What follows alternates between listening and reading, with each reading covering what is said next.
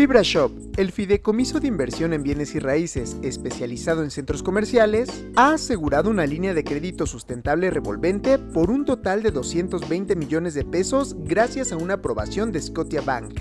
El crédito, con vencimiento programado para el año 2026, fue otorgado por Scotia Bank y está vinculado al cumplimiento de metas en materia sostenible.